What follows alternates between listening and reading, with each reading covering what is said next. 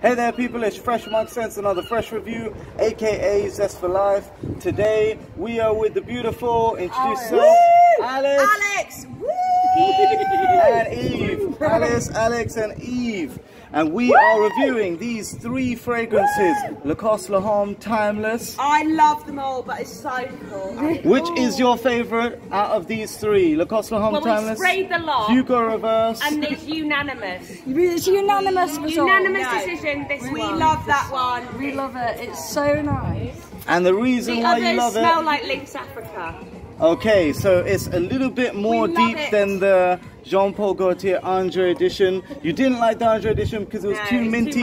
it was too, Too too in your face with the uh, minty. this This was too herbal and it was an instant floral light. And this one was an instant light because it was, you said it was deep, multi-layered, right? It was Ginger. It didn't slap you around the chops. It didn't slap you right in the chops. Got straight to business introducing you. Alright.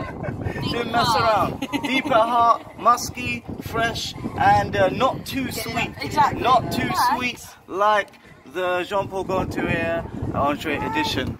Take care, people. Like, comment, subscribe. Stay free and stay fresh. Stay fragrant.